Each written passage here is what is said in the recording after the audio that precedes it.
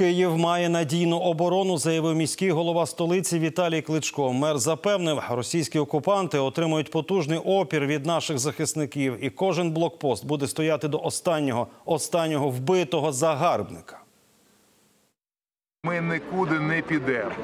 Кожен будинок, кожна вулиця, кожний блокпост буде стояти насмерть, якщо це буде потрібно. Ніхто не хоче вмирати, ніхто не хоче е, загинути. Але якщо потрібно буде, ми будемо захищати в першу чергу наших дітей, наші сім'ї.